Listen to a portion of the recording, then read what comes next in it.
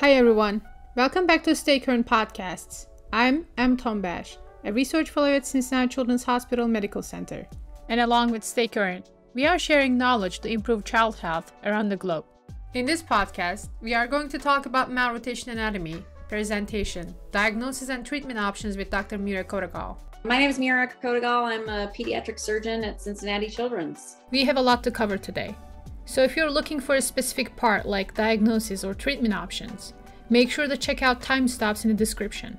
They'll take you wherever you need. Malrotation is a congenital condition that occurs in about 1 in 200 to 500 live births, making it a relatively common issue in pediatric patients. It is one of the most important causes of intestinal obstruction in infants and children.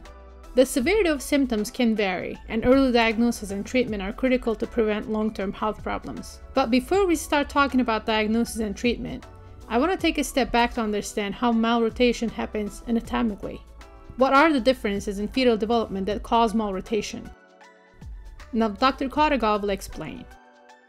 In the fourth week of gestation, that's really when we start to see development of the bowel. And as the bowel grows in length, it actually herniates into the yolk sac and along the umbilical cord and the SMA axis. We've all been there. I know it's hard to visualize the anatomy, especially challenging one like malrotation. For this reason, we added some animations linked below in the description. Don't forget to check them out. I promise it'll help you understand the concept better it develops outside and continues to grow in length and then will actually go back into the abdomen with sort of two pieces of rotation. The first part of the rotation is a 90 degree rotation where the duodenal jejunal loop sort of rotates. And then you get the return of the rest of the bowel into the abdominal cavity with a 270 degree rotation of the cecum and colon. And that allows it to end up in the conformation that we consider normal, where you have a duodenal jejunal junction to the left to midline at the ligament of Treitz. And then the cecum and colon around the abdomen, starting from the right lower quadrant all the way around to the left. Now is the time to check the animations linked below in the description if you haven't yet.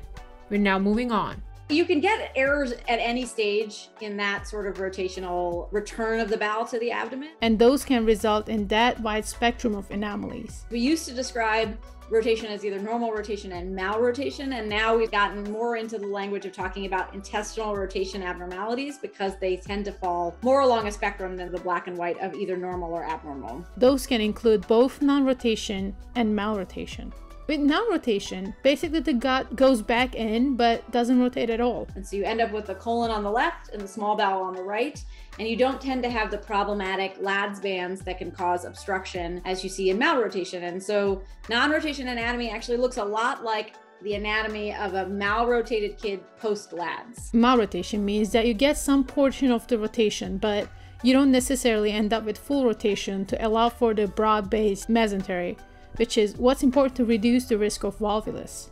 So you can end up with some rotation, meaning that the small bowel is still all on the right, and the cecum makes it part way towards the right lower quadrant, but not the whole way. And so you get Ladd's bands that can be obstructing of that duodenal junction.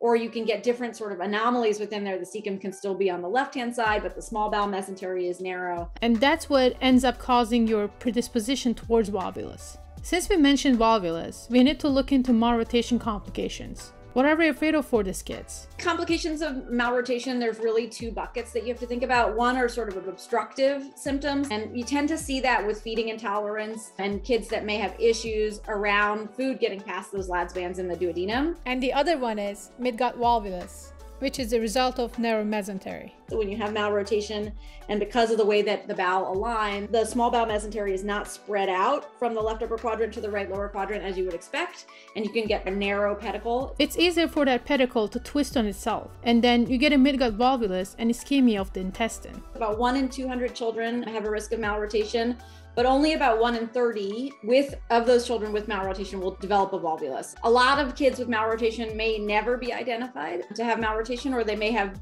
mild symptoms of feeding intolerance and that may result in their evaluation and diagnosis. It's important to recognize that about 70% of those who will have a midgut volvulus will present in the first year of life. So as kids get older, if they never had a volvulus, their likelihood of having a significant clinical event related to their malrotation goes down.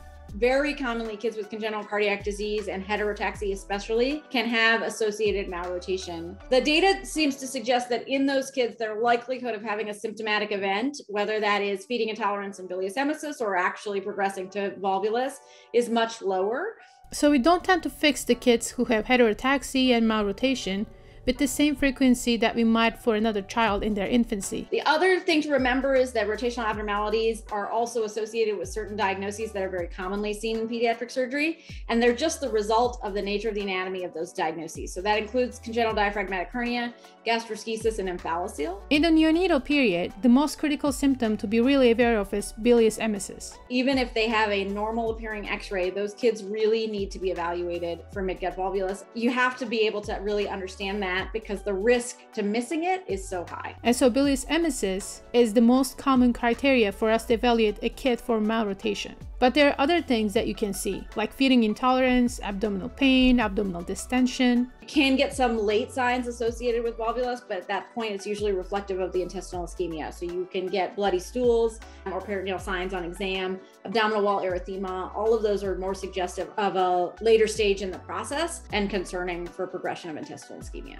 So the differential diagnosis for bilious emesis is actually quite broad and includes basically all kinds of intestinal obstructions. So it includes atresia, Disease, meconium ileus or meconium plugs, any other cause for intestinal obstruction, including things like an incarcerated hernia and anorectal malformations in kids who have no obvious fistula or who have an intestinal fistula to their urinary system, or kids with necrotizing enterocolitis. All of those diagnoses in kids can present with bilious emesis, and actually for many of them, malrotation may be less likely. But it's the thing that you have to rule out before you go down to the pathway of thinking about other diagnoses. The imaging that we use most frequently for the diagnosis of malrotation is an upper GI, and you're really there looking at the position and the course of the duodenum in order to determine whether or not it is normally or abnormally positioned. You want to see the total of the C loop and actually watch the duodenum come back across the midline to the left. Also, when you look at it from a lateral perspective, you want to see it also go posteriorly and a bit cephalad in order to determine that's really normal position of the duodenum and, and decreases your risk or concern for malrotation.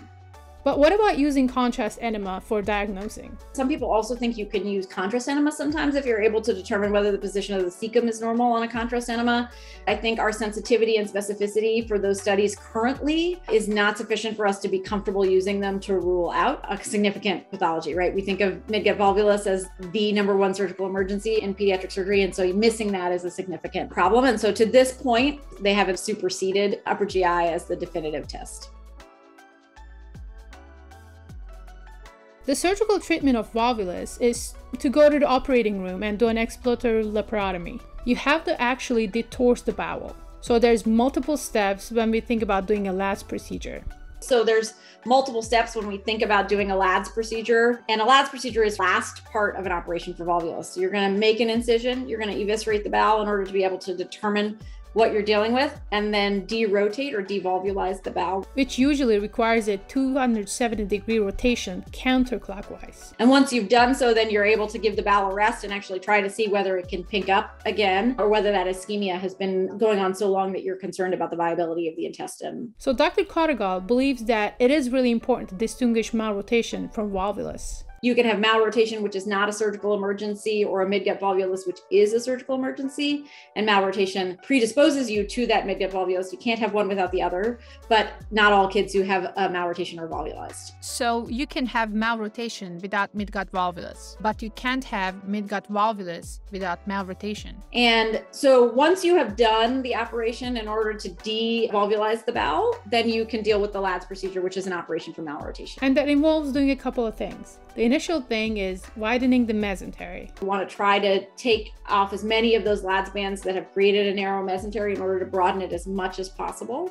Sometimes there are also Ladd's bands that cause obstruction of the duodenum, and so you want to make sure that you free up and straighten the duodenum to avoid concerns for feeding intolerance related to duodenal obstruction. And in this part of the surgery, a lot of surgeons choose to do an appendectomy. The real driver for taking out the appendix is just knowing that it's going to be in an abnormal anatomic position. And if you leave it in place, you have to remember to tell families that if they present with signs, they need to tell people that their appendix is not in the normal location, that the kid is malrotated. And then after you do that, you're going to put the bowel back into the abdomen in a non-rotation configuration. It's a small bowel on the right, large bowel on the left as a way to the intestines and try to keep that mesentery as broad as possible. We know a significant amount of debate as to whether or not a laparoscopic Ladd's procedure is a good procedure or not a good procedure.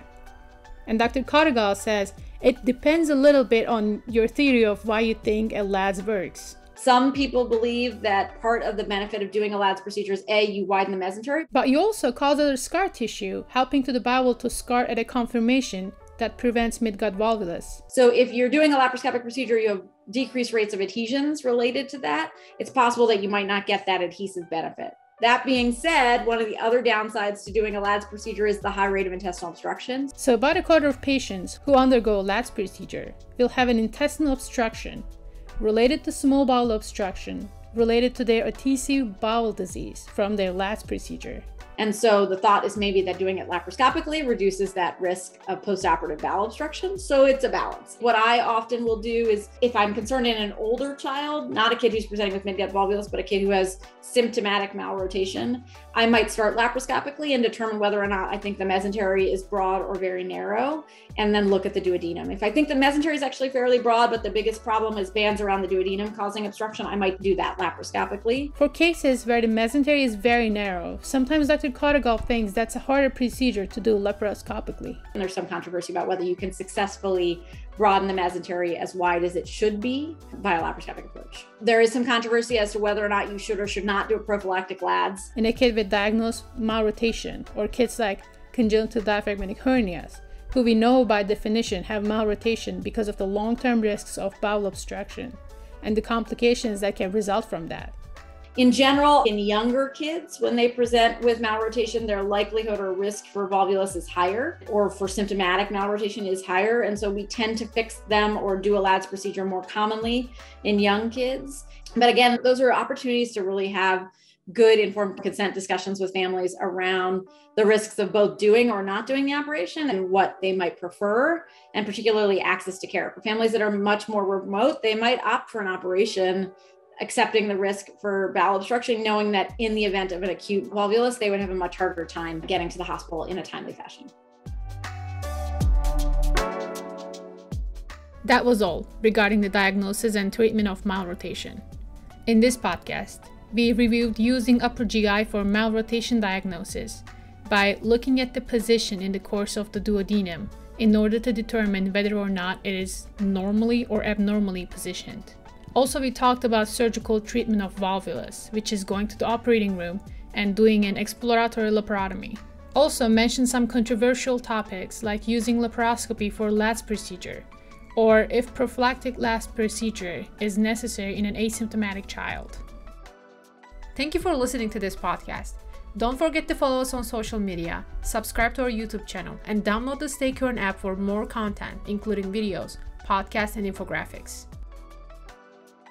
Cincinnati Children's Hospital and Current are sharing knowledge to improve child health around the globe.